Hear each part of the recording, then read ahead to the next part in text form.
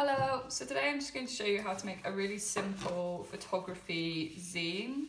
Um, I'll go through how to design pages, print pages, and then finally bind all your pages together. So the first step is to make a small sample book like this. So I've just made this out of scrap paper. This is really useful because it shows you how many pages you need to design. Um, it also shows you how to format your pages, so which numbers need to be together for printing. So if you grab some scrap paper and then start writing the page numbers on them, so that's front and back, and then one, two, three, four, and so on. So when we come to design and format our pages, this is really useful because it will show us which numbers we need to format together before printing. This will make more sense as we um, start designing on Photoshop. Um, so when we come to print, this will be really useful as it shows us which pages need to be printed together double-sided. So I've just got an example of that just to show you. So 9 and 10 will be the centre of my book. So 9 and 10 are printed together. then on the other side, so double-sided printing, 11 and 8 will need to be formatted and printed together so that when we fold them into our book, they will make sense. So I'll just quickly show you that. So our centre page will be folded out.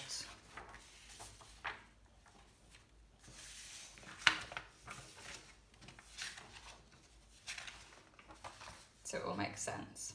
So the first step is to make that small sample book. This is a great chance as well to decide how many pages you want to um, design. So these zines are part of your brief, both GCSE and A-level. So it's a great way of displaying your work in a physical format and seeing how your images work together.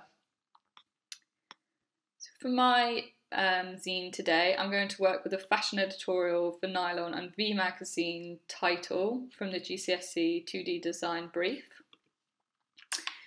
So I'm going to look at images from the photographer Bettina du Toit and other fashion photographers as well, and then creating almost um, an artist research file with my zine. So the first step is to open a new page on um, Photoshop. So I'm working A4 landscape. Okay, and zoom out so you can see the whole page. Then with your move tool at the side, just grab hold of the ruler on the left hand side and it will bring out this guide. And then find the middle of the page. So the ruler, as it finds the middle of the page, will actually snap to the middle. So it's there.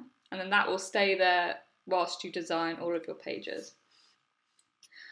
That guideline will actually show you the crease, so the fold in our book. So that will be the centre of our book. So that's quite good to keep in mind when you're designing your pages. If you're going to have images that are overlapping or you want images that meet exactly in the middle, etc. Okay. So then I'm going to grab my first image. So this is from fashion photographer Joelle Grace Taylor. And then you can work with your imagery, enlarging it, making it smaller, and see how it works on the page. And then I'm going to grab my other photo by the same artist. Okay, and I'm going to move that to one side. So I want this image to meet right up into the fold, so I'm going to enlarge it, thinking about which colours I want more on my image. So I'm going to put that there so you can see more of the yellow. Okay, and then you can work with your other image to see how this works with the other. So for my zine, I'm thinking a lot about colour. So at the beginning of my zine, I look more at Bettina du Toit's hazy, pastely colours, whereas at the end, I'm looking at photographers that use more contrasting colour, high vibrancy, etc. Okay, and then when you're happy with the placement of your imagery, I'm going to title my page with the photographer's name, so Joelle Grace Taylor. Okay, and then thinking about the design of my text, so which colour I think would work well. And then using my move tool to move it into position.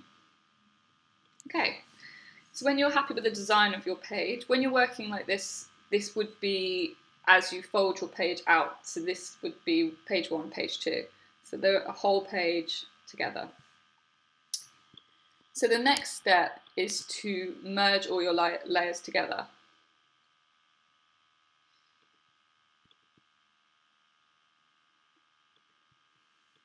So that is one page design. Because of the way that we're going to print, we need to separate these into one page one and page two. So a way of doing this is to duplicate this layer, so by pulling it down to this plus. Two. So then take your first one. So if we're thinking of this as page one, we'll get rid of page two. So this is quite nice and handy that you have that guide in the middle because it will snap and be perfect. So that's my first page. So over here, if you double tap, you can rename it. So page one. And then deselect. And then we want to get rid of the imagery we already have. So it's on page one. Okay, and then rename that one. So this is page one and page two, but together they make one single page and then you can design your pages using this same technique. Once you have designed all of your pages, it will look something like this. So 1, 2, 3, 4, up until 18. When you're designing the front cover, think about where your fold will be. So as the book opens, this will actually be the front cover and then this will be the back. So just think about that when you're designing your front cover. Okay, so in regards to the little book we made at the beginning to show us how our book needs to be printed, you'll work in a sequence like this. So if you open your first page and your 18th page, this will be the printout that we need. So if you go to File, Save As, and you make a folder of where you want yours to be. So mine is in fashion zine pages. Go to JPEG and then name your page. So page one.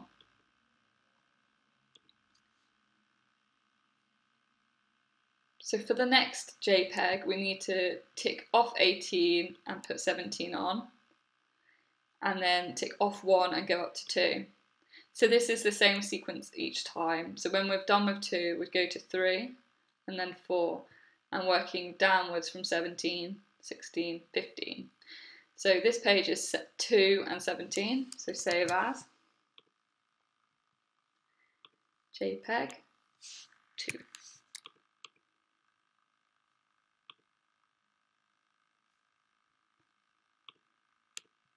Sixteen, three.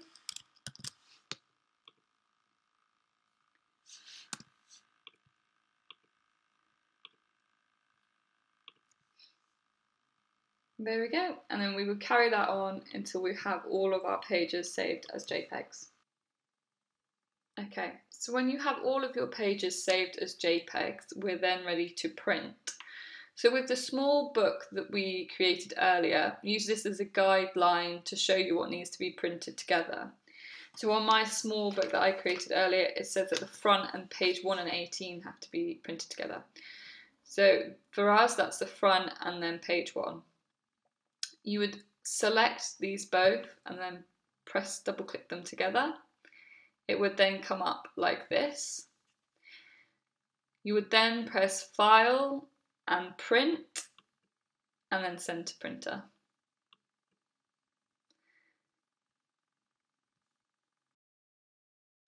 Okay, so once you've printed out all of your pages, they should look something like this. I would recommend test printing at least one of your pages before printing out your whole book, just to make sure that the printer is doing what you'd hoped it would. Um, the printer at school, when printing double-sided, prints one side upside down, so doing that test print was really useful before I sent all my pages to print. Okay. So the next step is to fold our pages. So I'm folding mine in half. So finding the edge. At school we have these bookbinding tools which are called bone folders, which you use to neatly fold down your edges. If you're at home and you don't have one of these, then using the side of a ruler is completely fine. When folding down your edges, make sure you're quite gentle and just so that you don't ruin or damage your print. Okay, and then just repeat this on all of your pages. The next step is to put, put your book all together. So finding the front and then finding each page.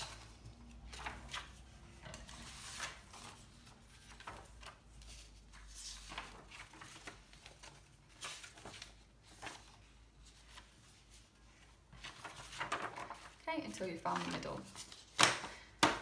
When working with a book of this size, just to make it even easier for myself, I would half the papers that I'm working with.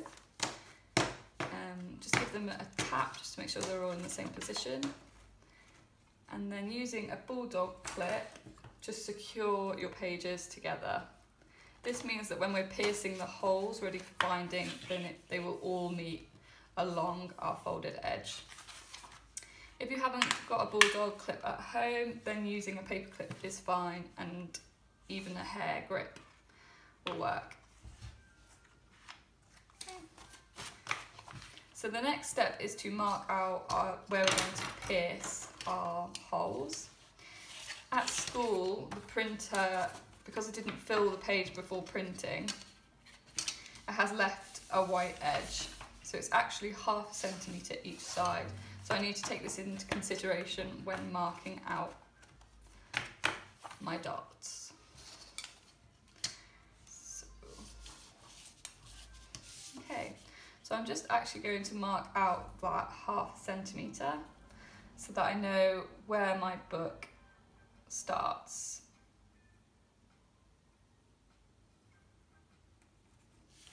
Okay, so if I put my ruler along that edge.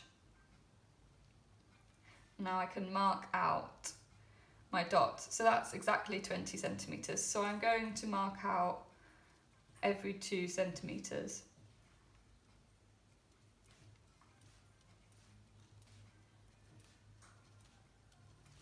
Okay. So when I'm piercing my book, my first piercing will be at 2 centimetres and my last piercing will be at 18 centimetres. This means that there's 2 centimetres from the edge on both sides so it's exactly equal. Just got, if you've got a um, cutting mat then that's perfect but I'm just going to use a piece of cardboard for now. So this is another bookbinding tool, it's called an awl we have a few of these at school and some of you even have them in the bookbinding kits that we gave you. Okay, so I'm going to line up my ruler to make it even easier, make sure I've got it nice and straight along that crease. And then with my awl, just pierce along my pierce where I've put my markings. So two,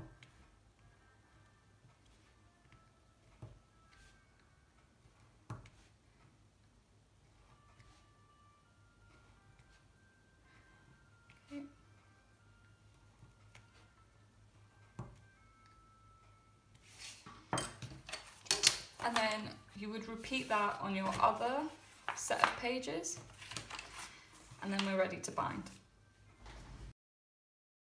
In bookbinding, there are many different ways to bind your books. This one, for example, is more decorative. This one is called a Japanese binding. at school we have these books um, which show you the binding and then actually have the instructions of how to do it on the front page. Okay,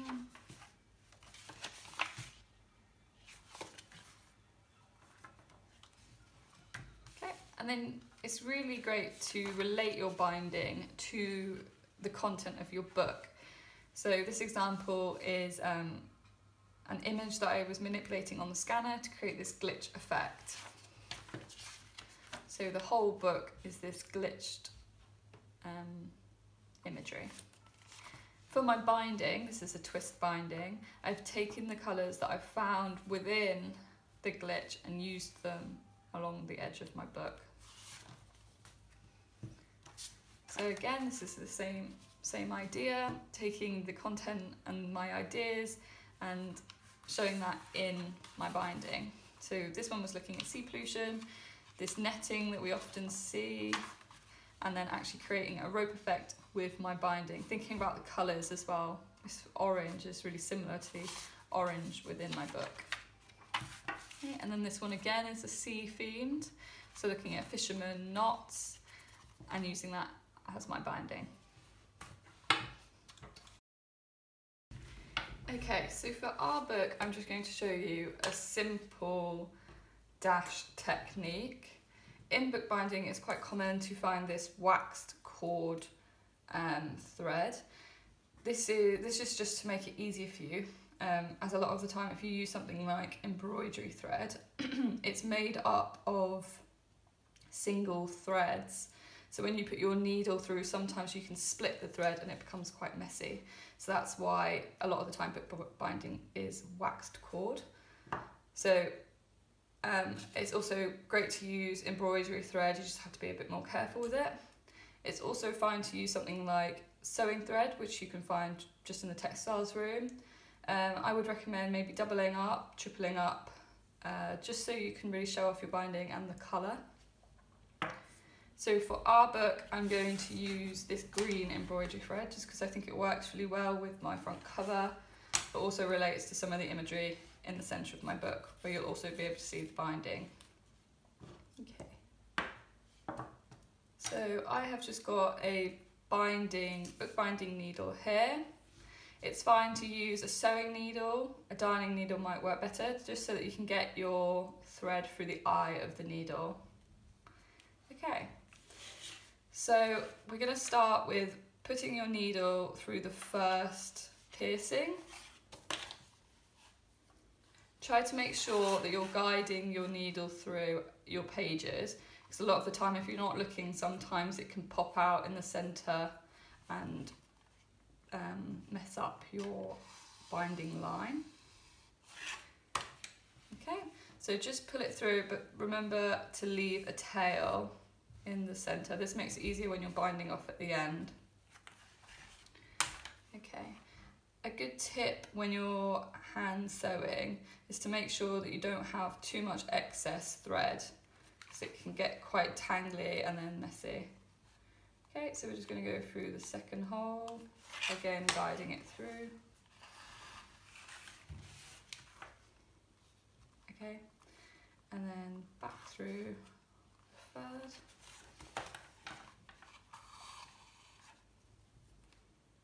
and then through the fourth.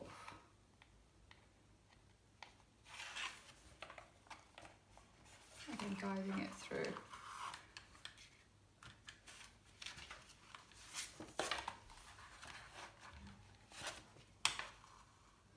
Okay, and you carry that sequence all the way to the end, so just following the sequence of piercings.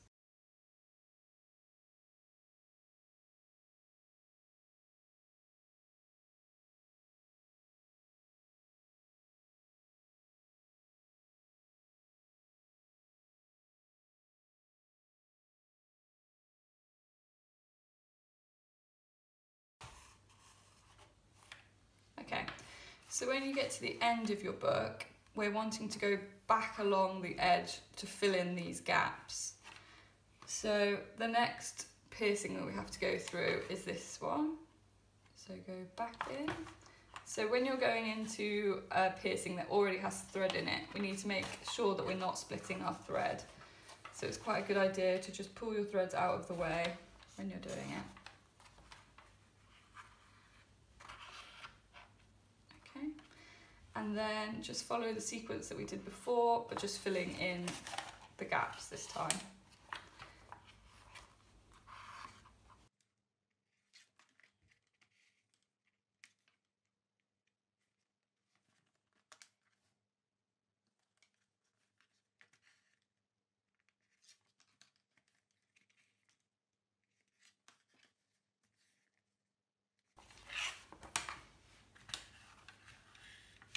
Okay, and then we're at the end of our binding.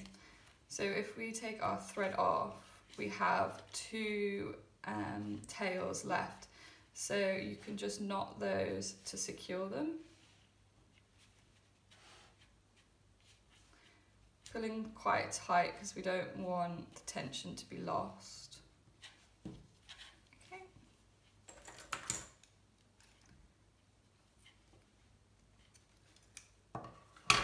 Okay, that's the final binding.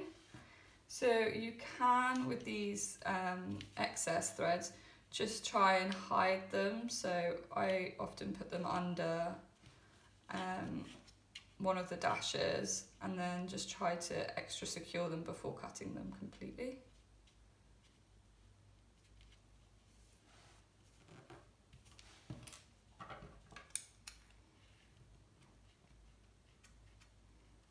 and probably use sharp scissors. Okay, and then that's the final binding. So we've got a nice neat edge in the center, as well as a nice neat edge on the outside. So that's quite a simple bind. Okay, and then here's my finished book. So it's all been bound and finished. When designing on Photoshop, because my um, zine is all about colour, I added these elements that be, could be cut out so that when you look at a page you can also see colours from the page before but also introducing the next page as well. Um, also having parts as they are cut out on this page filled back in. So this wasn't hasn't been as successful as I'd hoped. But that's why it's really good to always um, print off a sample book before on just normal printing paper before you print onto your desired paper. So that might be a different weight, um, glossy, all sorts. Also having cutouts that are different shapes. So this page looks back onto this nice green which ties in all these tones as well as my binding and then the colours in this imagery as well.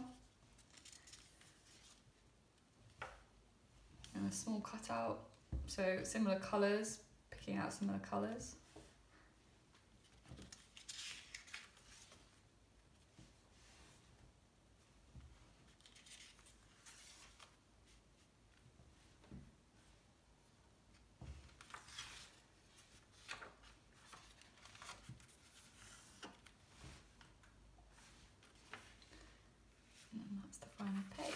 So when I open my book, it's this really nice green um, and this nice scenery and it links back to my final page, which also has green and landscape imagery as well.